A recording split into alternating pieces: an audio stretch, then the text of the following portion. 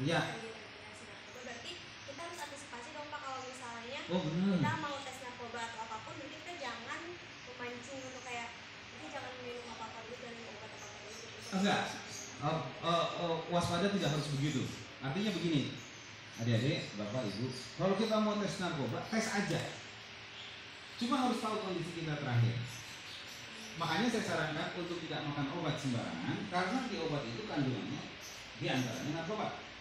Tapi kalau kita sakit, flu aja yang sederhana kita flu, hidung meler, batuk-batuk ke dokter, itu dikasih obat narkoba. Gitu ada tes di kelurahan, ada tes di kantor kita di, di kampus.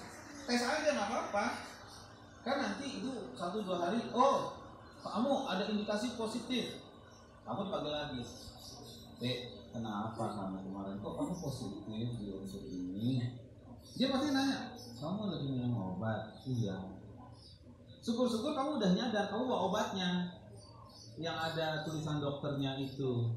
Misalnya dari klinik apa? Iya dok, iya bu pak, saya minum obat ini. Oh ya sudah. Itu namanya konfirmasi tes. Jadi jadi eh, eh, kalau tes narkoba itu jangan takut oh, langsung ketahuan. Enggak.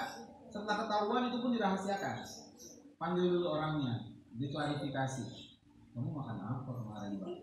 Saya ini pak. Kemarin ini.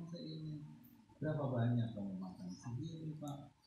Bisa dibawa resepnya, bisa dengan resep atau obatnya. Oh ada pak, kosannya dekat saya buat nih. Udah bebas.